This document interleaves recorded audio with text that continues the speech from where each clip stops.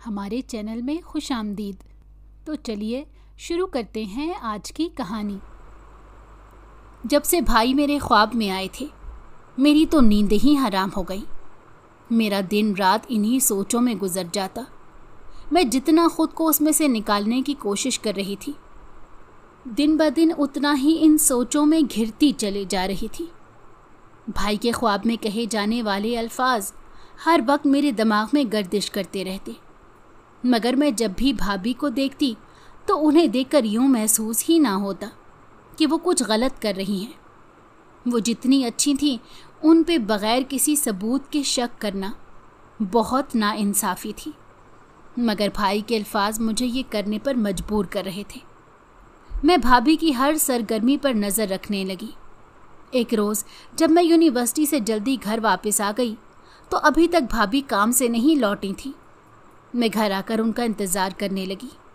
कुछ देर बाद ही घर का दरवाज़ा खुला और भाभी घर में दाखिल हुई। वो बहुत घबराई हुई थी। जैसे ही उन्होंने मुझे घर में देखा तो उनकी आँखें खुली की खुली रह गईं। वो मुझे हैरानगी से देखने लगी। मैंने जब उनसे उनकी घबराहट की वजह पूछी तो वो बात घुमाने लगी और कहने लगी कि कुछ ख़ास नहीं, बस तबीयत ठीक नहीं है। मगर उनकी आँखें तो कुछ और ही कहना चाह रही थी। मैंने सवालिया नज़रों से भाभी की जानब देखा तो वो मुझसे नज़र चुराने लगी और अपने कमरे में चली गई।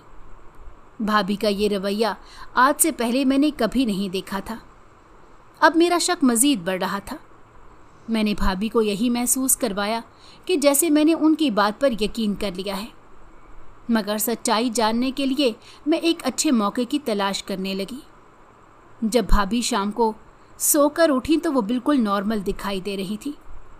मुझे ये महसूस हुआ कि शायद वाकई तब उनकी तबीयत कुछ ठीक नहीं थी। हम दोनों खाने की टेबल पर खाना खाने के लिए बैठ गए और मामूल के मुताबिक आपस में बातें करने लगी।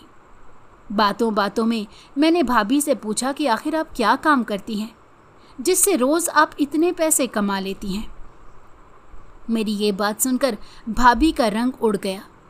उन्हें ठंडे पसीने आने लगे।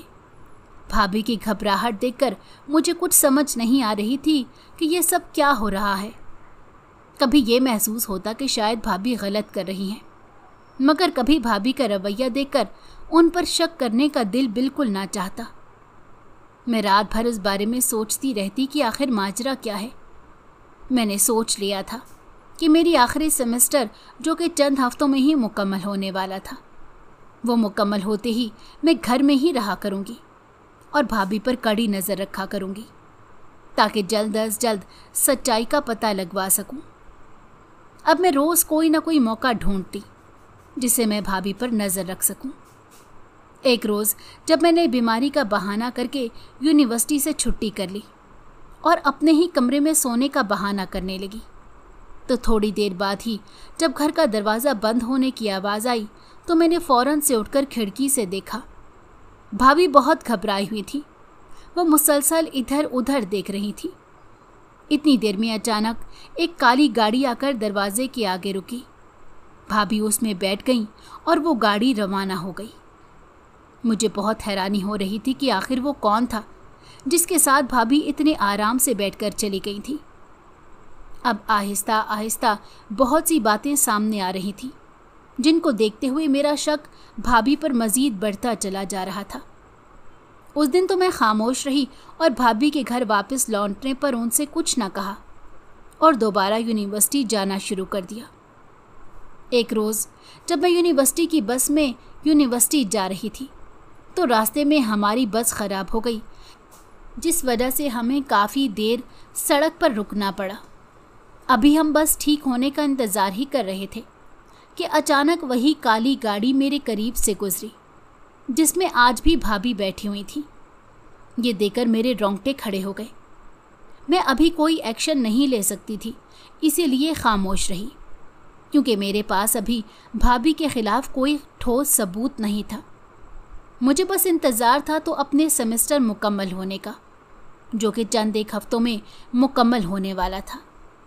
ये चंद हफ़्ते भी चुटकी बजाते ही गुजर गए और मेरा सेमेस्टर कंप्लीट हो गया। अब मैं मुकम्मल तौर पर फारिग थी, इसीलिए सारा दिन घर में ही रहती। मेरी पूरी नज़र भाभी पर थी। मैं रोज़ देखती कि भाभी गाड़ी में बैठकर कहीं जाती। मैं बहुत कोशिश करती कि उन्हें रोक सकूँ या उनसे पूछ सकूँ। मगर भाई के बाद उन्होंने मुझे बिल्कुल अपने बच्चों की तरह पाला था। इसलिए मुझमें इतनी हिम्मत ना होती कि मैं उनसे सवाल कर सकूँ।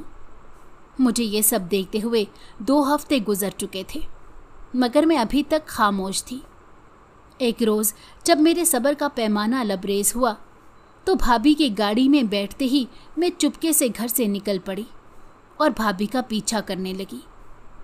गाड़ी काफ़ी दूर जाकर एक वीरान सी जगह पर रुक गई। वहाँ करीब में ही एक घर था। भाभी गाड़ी से उतरी और उस घर में दाखिल हो गई। मेरी जान ही निकल गई, क्योंकि भाभी तो मेरा नाम रेमशा है। मेरी उम्र सत्ताईस साल है। मैं ओकाड़ा की रहने वाली हूँ। मेरे अम्मा, अब्बा, जो कि मेरी पैदाइश के चंद साल बाद ही एक हादसे में इस दुनिया से रुखसत हो गए थे। अम्मा बाबा के जाने के बाद सब रिश्तेदारों ने भी हमारा साथ छोड़ दिया। मेरा एक भाई, जो कि मुझसे चौदह साल बड़ा था अम्मा अब्बा के जाने के बाद उसने ही मेरी परवरिश की। मेरी पैदाइश पर सब बेहद खुश थे, क्योंकि भाई के चौदह साल के बाद मैं पैदा हुई थी। मेरी पैदाइश पर मेरे अम्मा अब्बा ने बहुत खुशी मनाई थी, मगर हमारी खुशियों को न जाने किसकी बुरी नज़र लग गई थी। अम्मा अब्बा के जाने के बाद भाई ने मुझे कभी अम्मा अब्बा की कमी महसूस ना होने दी। मैं बचपन से ही बिल्कुल परी जैसी थी, इसलिए मुझे भाई एक सेकंड के लिए भी अकेला नहीं छोड़ते थे। वो हर वक्त मुझे अपने साथ साथ रखते। जैसे ही मैं स्कूल जाने के काबिल हुई तो उन्होंने मुझे शहर के एक बहुत अच्छे स्कूल में दाखला दिलवा दिया। भाई दिन भर खुद पढ़ाई करते और दोपहर में स्कूल से मुझे ले आने के बाद कुछ वक्त मेरे साथ गुजारते और फिर मुझे घर के करीब एक बाजी के पास ट्यूशन छोड़ आते और ख़ुद किसी की दुकान पर काम करने के लिए चले जाते और शाम को काम से वापसी पर मुझे ट्यूशन से वापस घर ले आते। उसे हमारा वक्त अच्छा गुजर रहा था, मगर फिर भी भैया को मेरी वजह से हर वक्त बहुत परेशानी रहती। वो मेरी वजह से फ़िक्र में रहते। क्योंकि मैं भाई के बग़ैर रहती नहीं थी। मैंने अपने अम्मा अब्बा का प्यार तो इतना लिया ही नहीं था। इसीलिए मेरा सब कुछ मेरा भाई ही था। मैंने अपनी सही होश भाई की गोद में ही संभाली थी। इसीलिए मेरे लिए भाई ही मेरे अम्मा अब्बा का दर्जा रखते थे।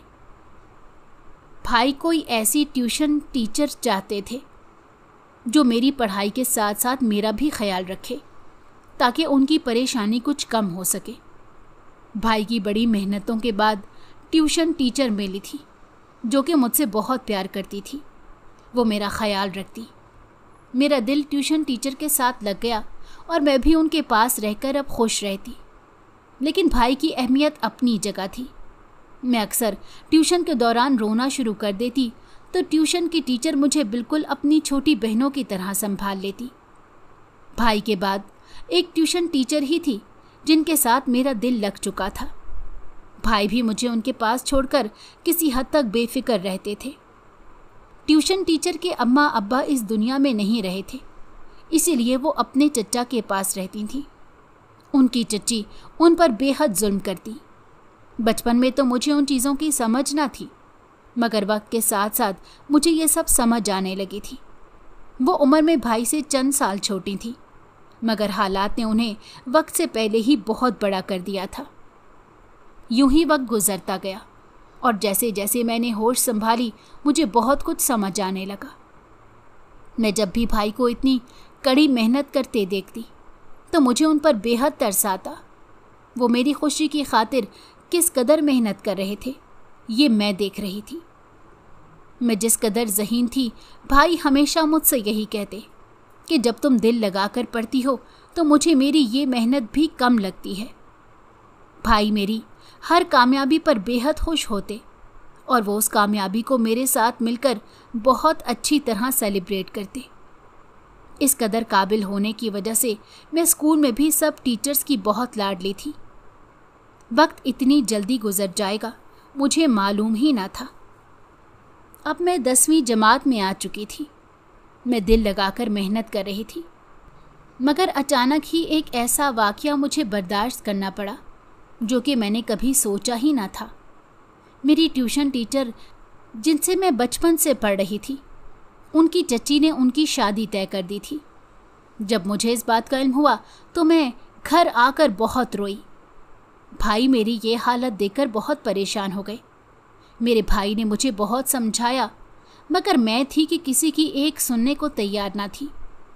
तो मेरे भाई ने मुझे अपने पास बिठाया और मुझसे पूछने लगे कि मुझे बताओ कि क्या तुम्हारी ट्यूशन टीचर अपनी चच्ची के साथ खुश थी? तो मैं उन्हें बताने लगी कि नहीं, उनकी चच्ची उन पर बहुत जुल्म करती थी।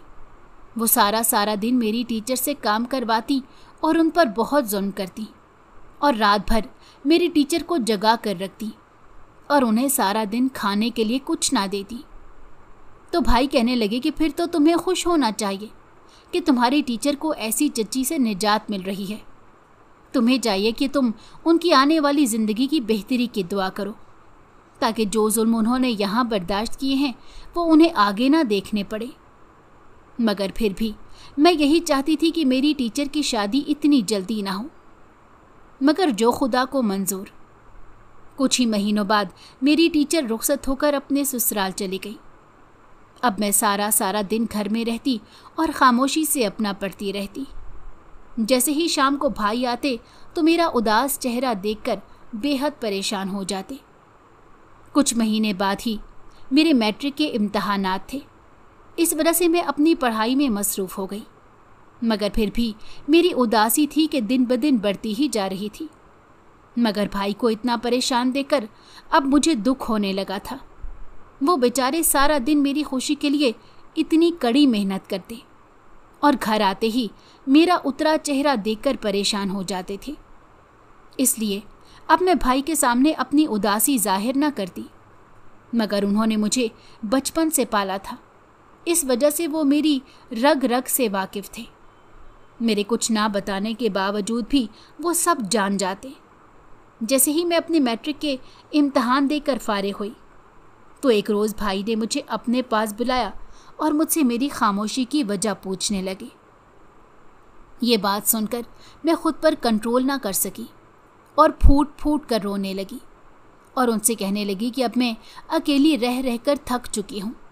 मुझे किसी की ज़रूरत है जो मेरे साथ वक्त गुजारे। आप सारा दिन दुकान में मसरूफ़ रहते हैं और मैं अकेली घर में दीवारों से बातें करती रहती हूँ। मुझे किसी ऐसे की ज़रूरत है जिसे मैं अपनी सारी बातें कर सकूँ। भाई मेरा मसला समझ चुके थे। वो मुस्कुराए और मेरे सर पर प्यार देकर मुझसे कहने लगे कि तुम परेशान ना हो। बस कुछ ही वक्त की बात है। मैं जल्द ही अपनी दुकान बना लूँगा और फिर शादी कर लूँगा। मैं तुम्हारे लिए बिल्कुल एक माँ जैसी भाभी ढूंढ कर लाऊँगा। फिर तुम अपनी भाभी के साथ सारा दिन वक्त गुजारना और उससे सारी बातें शेयर करना। मैं भाई की ये बात सुनकर बेहद खुश हो गई और उनकी बात पर रजामंद हो गई। भाई ने मुझे मैट्रिक का रिज़ल्ट आने से पहले ही मुझे शहर के एक अच्छे कॉलेज में दाखला ले दिया, ताकि मैं वहाँ पर कोई नई दोस्तें बनाकर वक्त गुजार सकूँ। मगर मैं थी कि मुझे अपनी पढ़ाई के अलावा कुछ नज़र ही नहीं आता था। मुझे कॉलेज में आए चंद माह गुजर चुके थे, मगर अभी तक मेरी कोई दोस्त नहीं बनी थी। भाई मुझसे रोज़ाना इस बारे में पूछते, मगर मैं हमेशा यही कहती कि मुझे दोस्त बनाना पसंद नहीं है। बस आप जल्द अज जल्द शादी कर लें और मेरी भाभी को ले आए, ताकि मैं और भाभी मिलकर एक दूसरे के साथ वक्त गुजार सकें। भाई मेरी बात पर मुस्कुरा देते और कहते कि वो वक्त भी दूर नहीं, जब तुम्हारी भाभी तुम्हारे साथ घर में होंगी। भाई मेरी खुशी के लिए दिन रात मेहनत करने लगे और आखिरकार भाई की अनथक मेहनत की वजह से उन्हें अपनी मेहनत का फल मिल गया। भाई ने अपनी एक एक पाई जोड़कर दुकान बना ली थी। आज मैं और भाई बेहद खुश थे। भाई की इस कामयाबी पर हमने खूब खुशी मनाई थी। अब भाई ने दुकान पर कुछ वर्कर्स रख लिए, जिस वजह से वो ज़्यादातर वक्त मेरे साथ ही गुजारते। वो मुझे खुश करने के लिए रोज़ाना रात को मुझे बाहर घुमाने ले जाते और मुझे मेरी पसंदीदा चीज़ें दिलवाते। यूँ ही वक्त गुजरता गया और मेरा मैट्रिक का रिज़ल्ट आ गया। मैं बेहद डरी हुई थी कि न जाने इस बार मैं भाई को अपनी कामयाबी से खुश कर सकूँगी या नहीं। अभी मैं सोच में ही मुबतला थी कि अचानक भाई खुशी से हाथ में एक पर्चा हिलाते हुए घर में दाखिल हुए और आते ही मुझे बेहद प्यार करने लगे। मैं मुसलसल भाई से बस यही पूछे जा रही थी कि मुझे बताएँ तो सही कि मेरे मैट्रिक में कितने नंबर आए हैं। मगर भाई थे कि बस झूमे ही जा रहे थे।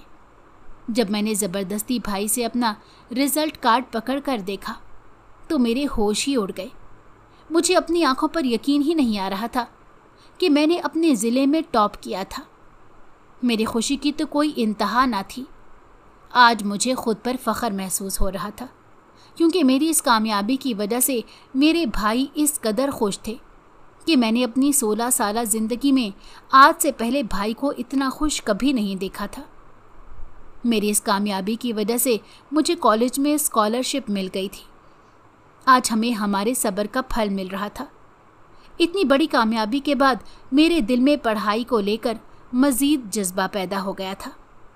अब मैं किसी भी चीज़ पर ध्यान दिए बगैर सिर्फ़ अपनी पढ़ाई करती, ताकि मैं अपने भाई को हमेशा खुश रख सकूँ, क्योंकि उन्होंने मेरी खातिर अपनी सब ख्वाहिशों को दिल में ही दबा लिया था। अब वक्त के साथ साथ मैंने घर के भी कुछ काम सीखने शुरू कर दिए थे, क्योंकि शुरू से ही मैं देखती आ रही थी कि भाई ही घर के सारे काम करते थे। अब मैं उन्हें इन सब चीज़ों से निजात दिलाना चाहती थी। इसलिए मैंने उनके कहे बगैर ही घर के बहुत से काम करने शुरू कर दिए। शुरू शुरू में तो भाई मुझे बहुत मना करते, मगर अब मैं उनकी एक ना सुनती। एक रोज़ जब मैं किचन में भाई के लिए उनकी पसंदीदा बिरयानी बना रही थी तो अचानक भाई दुकान से जल्दी घर वापस आ गए और आते ही मुझे बार बार आवाज़ देकर बाहर बुलाने लगे। मैं अपना सब काम छोड़कर जैसे ही बाहर गई तो वो सोफे पर बैठे मुसलसल मुस्कुरा रहे थे। मैंने सवालिया नज़रों से भाई की जानब देखा और उनसे पूछा कि आखिर ऐसी क्या बात है, जो आप यूँ मुस्कुरा रहे हैं। तो वो कहने लगे कि यहाँ मेरे करीब आकर बैठो, तुम्हें कुछ दिखाना है। जैसे ही मैं भाई के करीब जाकर बैठी तो उन्होंने अपनी जेब से मोबाइल निकाला और एक बहुत ही खूबसूरत लड़की की तस्वीर मुझे दिखाई। जिसे देखकर मेरी आँखें फटी की फटी रह गई। मैंने भाई से पूछा कि आखिर ये इतनी खूबसूरत लड़की कौन है? तो वो मुस्कुराकर कहने लगे, ये तुम्हारी होने वाली भाभी है। मैं इसे बहुत पसंद करता हूँ और इससे शादी करके अपने घर लेकर आना चाहता हूँ। अगर तुम्हें यह पसंद है और अगर तुम मुझे इजाज़त दो तो मैं शादी के लिए उसके अम्मा अब्बा से बात करूँ। मैं खुशी से चीख उठी। और भाई से कहने लगी कि जल्दी इनसे शादी कर लें और इनको मेरी भाभी बनाकर घर ले आएँ। भाई ने मुझे कहा कि बस, फिर तुम तैयारी कर लो। जल्दी हम दोनों रिश्ता लेकर उसके घर जाएँगे। मैं फ़ौरन से राज़ी हो गई और ज़ोर और शोर से रिश्ता ले जाने के लिए तैयारी करने लगी। अगले ही हफ़्ते में मैं और भाई भाभी के घर रिश्ता लेकर चले गए। जैसे ही हमने भाभी के अम्मा अब्बा को इस रिश्ते के बारे में बताया तो वो फ़ौरन से राज़ी हो गए मैं बेहद खुश थी और बस यही चाहती थी कि जल्द अज जल्द भाई और भाभी की शादी हो जाए। और भाभी के घर वाले भी यही चाहते थे कि कुछ माह में ही भाई भाभी से निकाह कर ले। एक साथ इतनी खुशियाँ मिल गई थी कि मैं अपने सारे दुख भूल चुकी थी, मगर मुझे कहाँ मालूम था कि अभी तो ज़िंदगी में बहुत से इम्तहान बाकी थे। घर आते ही मैं भाई की शादी की तैयारी में लग गई। मैं और भाई दिन रात बस उनकी शादी को लेकर आपस में बातें करते रहते और खुश होते रहते। भाई ने मुझे अपनी शादी की शॉपिंग के लिए एक भारी रकम दे रखी थी। शादी में हर चीज़ मेरी पसंद की थी। मेरी खुशी की तो कोई इंतहा ना थी। शादी की तैयारियों में मुझे मालूम ही ना पड़ा कि कब वक्त इतनी जल्दी गुजर गया। और आखिरकार वो दिन आन पहुँचा जिसका मुझे इतने सालों से इंतज़ार था। आज मेरे भाई की मेहंदी थी। भाई के बहुत से जानने वाले और चंद एक रिश्तेदार थे, जिन्होंने मेहंदी पर शिरकत की थी। भाई के दोस्तों ने सारी रात बेहद हल्ला गुल्ला किया, ढोल ढमक्का और न जाने क्या कुछ था। भाई भी अपनी शादी पर बेहद खुश नज़र आ रहे थे। और खुश क्यों ना होते? आखिरकार उन्हें वो मिल रही थी जिससे वो बेहद मोहब्बत करते थे। मेहंदी की रात फ़ंक्शन इस कदर देर तक चलता रहा था कि हम सब बेहद थक चुके थे। इसीलिए घर आते ही सो गए, क्योंकि सुबह हमें अपनी भाभी को घर लेकर आना था। सुबह होते ही हम सबने मिलकर नाश्ता किया। आज से पहले मैंने अपने घर में इतनी रौनक कभी नहीं देखी थी। मुझे ये सब कुछ देखकर बहुत अच्छा महसूस हो रहा था। नाश्ते के बाद सब पार्लर तैयार होने के लिए चले गए। जैसे ही मैं पार्लर से तैयार होकर लौटी तो भाई को देखकर मेरी आँखों से खुशी के आँसू बहने लगे। भाई दूल्हे की शेरवानी में बेहद हसीन लग रहे थे। मैंने आते ही सबसे पहले भाई की नज़र उतारी और फिर बारात लेकर रवाना हो गए। पूरे रास्ते हम बेतहाशा शोर शराबा करते गए थे कि हर गुजरने वाला हमें देख रहा था और खुश हो रहा था। आखिरकार हम भाभी को निकाह करके घर ले आए। घर आते ही हमने कुछ रस्में अदा की और भाई और भाभी को कमरे में भेज दिया। मगर कुछ देर बाद ही भाभी मेरे पास मेरे कमरे में आ गई और बैठकर मुझसे बातें करने लगी। मुझे ये देखकर बहुत हैरानी हो रही थी जब मैंने भाभी से इसकी वजह पूछी तो वो कहने लगी, कि आप ही तो चाहती थी कि आपकी भाभी आपके साथ सारा दिन बैठकर बातें करे। तो मैं आ गई हूँ आपसे बातें करने के लिए। यह सुनकर मुझे बेहद खुशी हुई। मैं फ़ौरन से उठी और भाभी के गले लग गई। उस दिन से ही भाभी मुझसे बेहद प्यार करती। वो मेरी हर ज़रूरत का बेहद ख्याल रखती और हर वक्त मेरे साथ बातों में मसरूफ़ रहती। ताकि मैं किसी भी तरह उदास ना हूँ। भाभी के आ जाने के बाद मैं हर वक्त बस मुस्कुराते ही रहती। मेरे भाई मेरी मुस्कुराहट देखकर मेरी भाभी का बेहद शुक्रिया अदा करते, क्योंकि उन्होंने मेरी उस मुस्कुराहट के लिए बहुत मेहनत की थी और भाभी ने इस मेहनत को चार चाँद लगा दिए थे। भाभी मुझे बस हर वक्त यही कहती कि अपनी पढ़ाई पर ध्यान दिया करो और मुझे घर का कोई काम ना करने देती। उन्होंने मुझे और भाई को बिल्कुल बच्चों की तरह संभाल लिया था। भाई ने वाकई अपना वादा पूरा किया था। वो मेरे लिए बिल्कुल माँ जैसी भाभी लेकर आए थे। मेरा कॉलेज भी मुकम्मल हो चुका था, मगर अब मैं आगे नहीं पढ़ना चाहती थी। मैं घर रहकर अपने भाई और भाभी के साथ वक्त गुजारना चाहती थी, मगर भाई के कहने पर मुझे यूनिवर्सिटी में दाखिला लेना पड़ा। मैं ये हरगिज़ नहीं जानती थी कि यूनिवर्सिटी जाते ही मुझमें इस कदर तब्दीलियाँ आ जाएँगी। मैं यूनिवर्सिटी गई तो बहुत बेदिली से थी। मगर पहले दिन ही मेरी नज़र एक ऐसे लड़के पर पड़ी जो बेहद खूबसूरत और शरीफ नज़र आ रहा था। मैं तो बस उसे देखती ही रह गई। ऐसा पहली बार हुआ था कि मुझे कोई इस कदर खूबसूरत लगा था और मैं अपनी पढ़ाई के अलावा भी किसी के बारे में सोच रही थी। मैंने घर आते ही सबसे पहले इस बारे में भाभी को बताया तो उनका रंग उड़ गया, और वो कहने लगी, कभी भी किसी मर्द पर यकीन नहीं करना। मैं तुम्हें हरगिज़ ये नहीं कहना चाह रही कि तुम किसी को पसंद ना करो। बस एहतियात करना, क्योंकि कुछ मर्द किसी की मोहब्बत और कदर का पास नहीं रखते। भाभी की बातें मुझे कुछ ख़ास समझ नहीं आ रही थी, क्योंकि मैं तो उसी की सोचों में गुम थी। मगर फिर भी मैंने भाभी की बातों पर हाँ में सर हिला दिया। वक्त के साथ साथ मेरा उस लड़की के साथ उठना, बैठना बहुत बढ़ गया। अब तो मेरी उससे अच्छी खासी दोस्ती हो गई थी और मेरा उसके बगैर गुजारा बहुत मुश्किल हो गया था। मैंने जैसे ही ये बात महसूस की तो फ़ौरन से भाई को उस बारे में बता दिया, क्योंकि मैं अपने भाई से कुछ नहीं छुपाना चाहती थी। भाई ने तसल्ली से मेरी बातें सुनी और उस लड़के से मिलने की ख्वाहिश ज़ाहिर की। अगले ही रोज़ भाई मेरी यूनिवर्सिटी में उस लड़के से मिलने के लिए आ गए। भाई को भी वो बेहद पसंद आया था। भाई ने उसे कहा कि वो जल्द अज जल्द अपने घर वालों को रिश्ता देकर मेरे घर भेजे। वो इस बात पर राज़ी हो गया और उसने भाई से वादा किया कि वो जल्द ही अपने वालदेन को मेरे घर रिश्ता देकर भेजेगा। मैं नहीं जानती थी कि वो मुझे लेकर इस कदर सीरियस है। अगले ही हफ़्ते उस लड़के के घर वाले मेरे लिए रिश्ता लेकर हमारे घर आ गए। उन्हें मैं पहली नज़र में ही बेहद पसंद आ गई थी। इसलिए उन्होंने इसी महीने में मेरी और अहमद की मंगनी कर दी। अहमद एक बेहद अमीर घर का लड़का था, मगर वो मेरी जहानत और खूबसूरती पर मर मिटा था। मेरी मंगनी कर देने के बाद भाई बहुत हद तक बेफिक्र हो चुके थे। मंगनी के बाद से अहमद का हमारे घर आना जाना काफ़ी बढ़ चुका था। और अब मैं यूनिवर्सिटी में भी अहमद के साथ ही आया जाया करती थी। इस वजह से भाई ने अहमद से मेरा निकाह करवा दिया। और निकाह से पहले उसके वालदेन से ये बात कर ली कि जैसे ही बच्चों की पढ़ाई मुकम्मल होगी, वो मुझे रुख्सत कर देंगे। अहमद के वालदेन भी इस बात पर राज़ी हो गए। मैं और अहमद एक दूसरे को बेहद चाहते थे। मुझे अपनी ज़िंदगी में खुशियाँ लौटती हुई नज़र आ रही थी। मैं अब हर वक्त हंसती मुस्कुराती हुई दिखाई देती। अहमद मुझसे कुछ साल बड़ा था।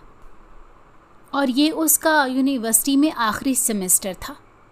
मैं इस बात को लेकर बेहद उदास थी, क्योंकि मुझे तो अहमद के बगैर रहने की अब आदत ही ना रही थी।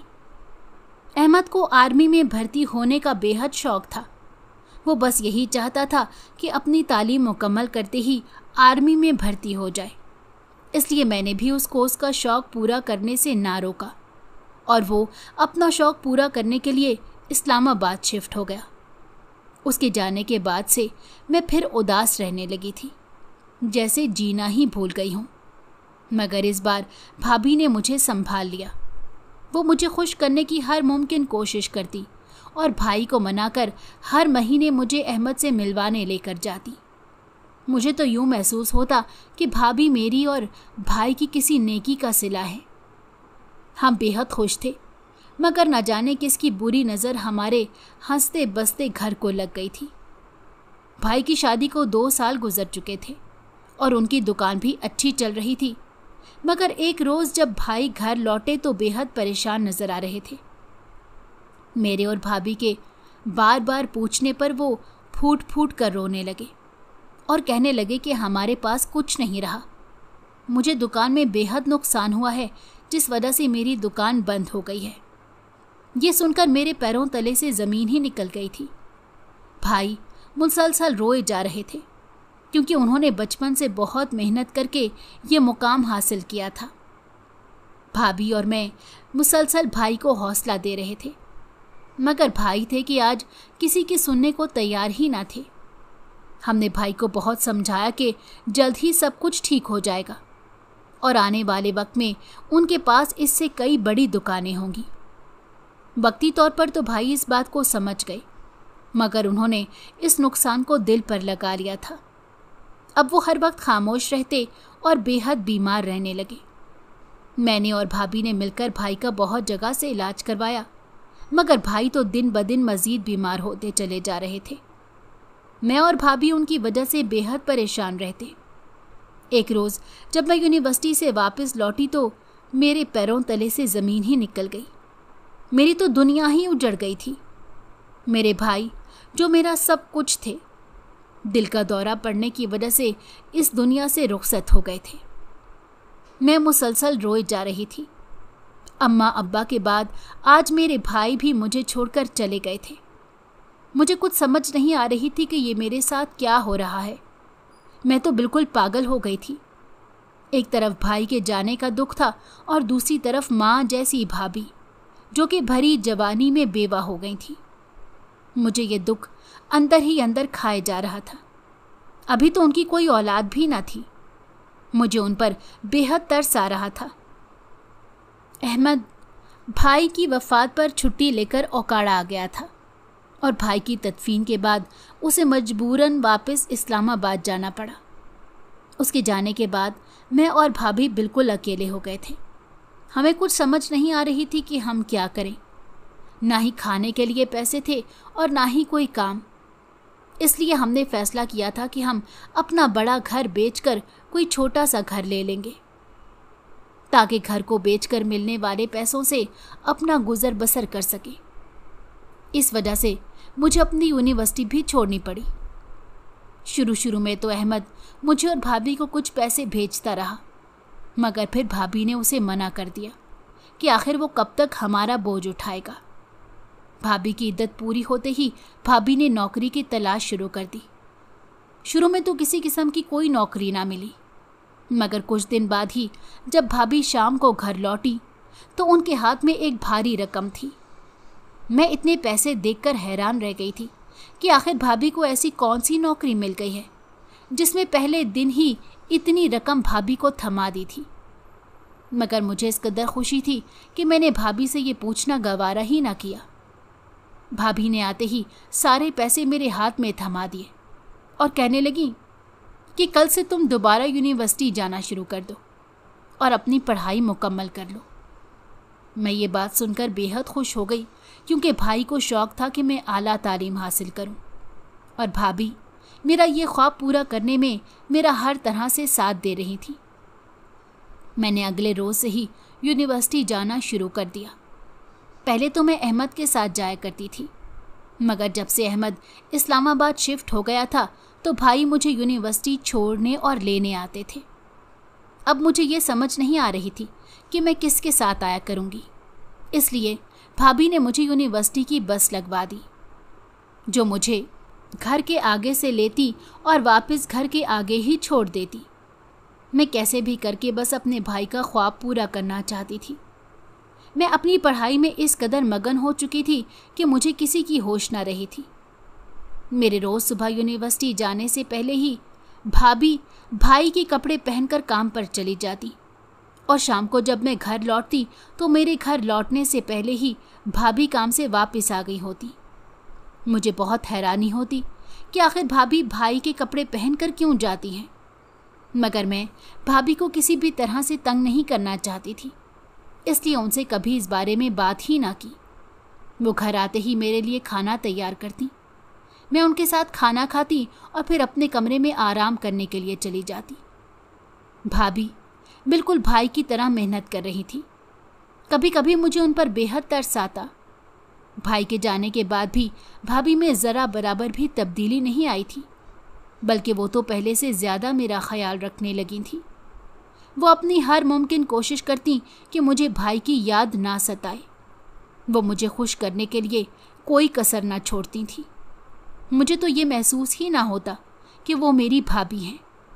क्योंकि मैंने तो लोगों से भाभीियों के बारे में बहुत अजीब बातें सुनी थी। मैं अक्सर देखती कि भाभी बहुत खामोश रहती हैं। मैं जब उनसे खामोशी की वजह पूछती तो वो भाई को याद करके रोने लगती।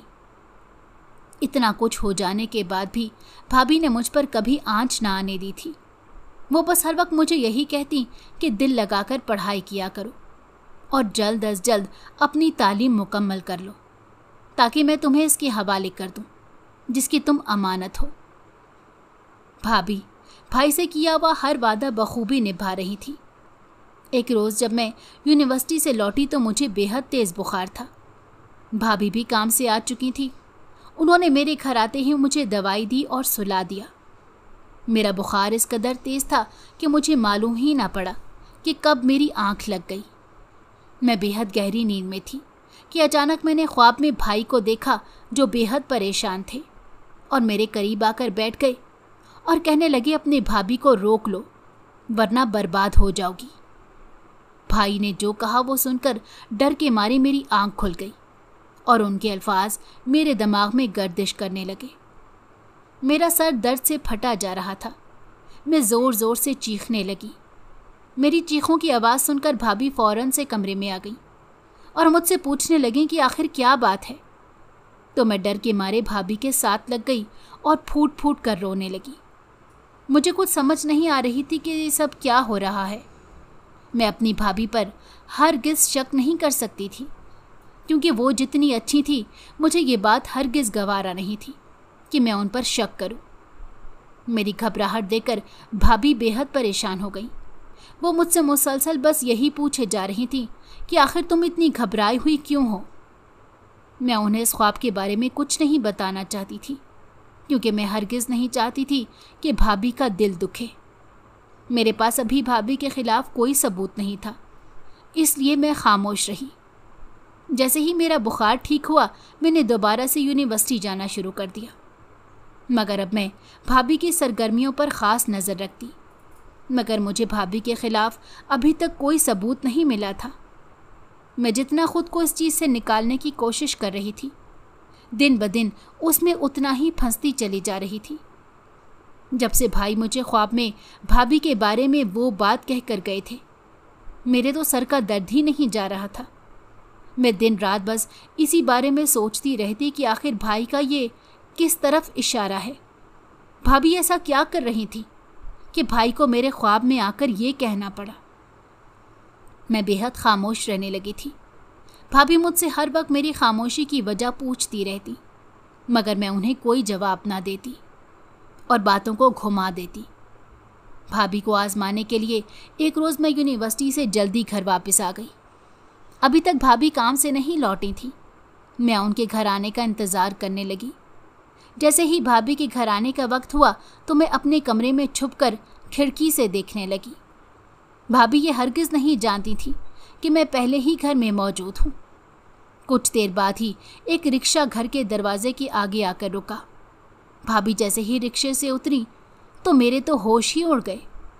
भाभी जिस हुलिये में घर लौटी थी, वो बहुत अजीब था। भाभी तो सुबह कुछ और ही पहनकर काम पर गई थी। मुझे ये बात बेहद अजीब लगी, मगर उसकी बिना पर मैं कुछ नहीं सोच सकती थी, क्योंकि ये कोई इतनी बड़ी बात नहीं थी। भाभी जैसे ही घर में दाखिल हुई तो मुझे सामने देखकर घबरा गई। उनके चेहरे का रंग फीका पड़ गया। जब मैंने भाभी से घबराने की वजह पूछी तो वो कहने लगी कि आज मेरी कुछ तबीयत ठीक नहीं है। मैं थोड़ी देर आराम करना चाहती हूँ। और ये कहते ही अपने कमरे में चली गई। मगर उनके अल्फाज उनकी ज़बान का साथ नहीं दे रहे थे। मैं खामोश रही और फिर भाभी के उठने का इंतज़ार करने लगी। भाभी के उठने से पहले ही मैंने आज खाना बना लिया था। जब भाभी उठी तो वो काफ़ी हद तक फ्रेश नज़र आ रही थी। मुझे महसूस हुआ कि शायद तब उनकी वाकई तबीयत ठीक नहीं थी। हम दोनों खाने की टेबल पर बैठ गई और खाना खाने लगी और साथ मामूल के मुताबिक आपस में बात कर रही थी कि अचानक मैंने भाभी से पूछा कि आपने आज तक मुझे अपनी नौकरी के बारे में कुछ नहीं बताया। आप किस जगह पर नौकरी करती हैं? मेरी बात सुनकर भाभी ने बात घुमा दी और खाना खाने में मसरूफ़ हो गई। भाभी के इस रवैये ने मुझे शक में डाल दिया था, मगर मैं खामोश रही। अब मैं भाभी पर नज़र रखने का कोई ना कोई मौका तलाश करती रहती, ताकि मैं सच्चाई का पता लगा सकूँ। और अगर भाभी कोई गलत काम कर रही हैं तो उन्हें इस काम से रोक सकूँ, ताकि भाई की रूह को सुकून मिल सके। मैं उसके लिए किसी भी हद तक जा सकती थी। अब मैं अक्सर इस चीज़ का ख्याल रखती कि भाभी के घर से निकलते ही मैं अपने कमरे की खिड़की से जब बाहर देखती तो रोज़ एक काली गाड़ी भाभी को लेने के लिए दरवाजे पर आती मुझे बेहद तजस्स होता कि आखिर ये कौन है जो भाभी को लेने आता है और भाभी भी खामोशी से उसके साथ चली जाती हैं मैं अक्सर उन्हें रोकने की बेहद कोशिश करती, मगर मेरी हिम्मत ना पड़ती कि मैं भाभी को रोक सकूँ। एक रोज़ मैंने हिम्मत करके भाभी के घर से निकलते ही उनका पीछा करना शुरू कर दिया। डेढ़ घंटे के सफ़र के बाद वो गाड़ी एक वीरान जगह पर जाकर रुक गई। भाभी उस गाड़ी से निकली और एक घर में दाखिल हो गई। तकरीबन एक घंटे तक मैं भाभी के बाहर आने का इंतज़ार करती रही। काफ़ी देर गुजरने के बाद जब भाभी बाहर आई तो मेरे पैरों तले से ज़मीन ही निकल गई, क्योंकि भाभी का होलिया बिल्कुल बदला हुआ था। उन्होंने अजीब से कपड़े और नकाब पहन रखे थे। भाभी के साथ तीन और लड़के भी थे, जो सब एक गाड़ी में बैठे और गाड़ी रवाना हो गई। मैंने जब उस गाड़ी का पीछा किया तो गाड़ी एक यूनिवर्सिटी के करीब जाकर रुक गई। भाभी और वो तीनों लड़के गाड़ी से निकले और बहुत जल्दी में यूनिवर्सिटी में चले गए। मैं भी चुपके से उनका पीछा करने लगी। भाभी और उन तीन लड़कों के हाथ में किसी चीज़ की छोटी छोटी पूड़ियाँ थीं। जो वो यूनिवर्सिटी के तलबा को दे रहे थे। मुझे कुछ समझ नहीं आ रही थी कि वो क्या चीज़ है, जो तलबा उनसे ख़रीद रहे थे और उसके बदले उन्हें काफ़ी रकम दे रहे थे। मैं ये सब देखकर घर वापस लौट आई और भाभी के घर आने का इंतज़ार करने लगी। शाम होते ही जैसे ही भाभी घर लौटी तो मैंने उन्हें अपने पास बिठा लिया और उन्हें कहने लगी, मुझे सब कुछ पता चल गया है। अब मुझसे मज़ीद झूठ ना बोलिएगा। मुझे सब कुछ सच सच बता दे। भाभी मेरी बात सुनकर कांपने लगी और फिर मेरे पूछने पर उन्होंने जो बात मुझे बताई, वो सुनकर मेरे होश ही उड़ गए थे। वो कहने लगी, जो तुमने देखा है, वो बिल्कुल सच है। मैं यूनिवर्सिटी में पढ़ने वाले लड़के और लड़कियों को मंशियात फ़रोख्त करती हूँ। भाभी की ये बातें मुझे हैरान कर रही थी और ये सोचने पर मजबूर कर रही थी कि जो भाभी मेरे लिए बिल्कुल माँ जैसा रुतबा रखती हैं वो किसी और के साथ कैसे नाइंसाफ़ी कर सकती हैं? जब मैंने उनसे वजह पूछी तो वो फूट फूट कर रोने लगी और कहने लगी, ये मेरी मजबूरी है। मुझे उनकी कोई ख़ास मजबूरी नज़र नहीं आ रही थी। इसलिए मैंने उनसे इस बारे में तफसील से पूछा।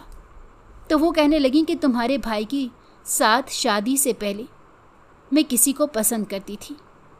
मैं ये नहीं जानती थी कि वो लड़का कैसा है। ना ही मैं उसकी नीयत से वाकिफ़ थी।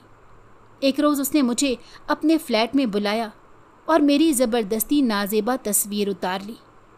मैं बहुत घबरा गई। जब मैं घर लौटी तो मुझे उन तस्वीरों के ज़रिए ब्लैकमेल करने लगा। वो हर महीने मुझे यूँ ही ब्लैकमेल करके मुझसे पैसे मंगवाता।